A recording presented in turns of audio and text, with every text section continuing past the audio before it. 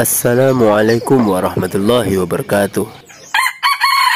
Halo kawan-kawan Ocu Pemikat di mana pun kalian berada. Semoga kawan-kawan dalam keadaan sehat. Sehat jiwa raga, sehat jasmani dan rohani. Pada kesempatan video kali ini Ocu Pemikat sedang demam tinggi dan rendah.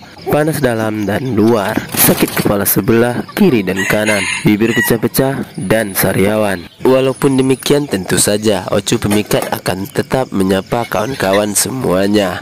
Dan mengucapkan Selamat Hari Raya Idul Fitri Mohon maaf lahir dan batin.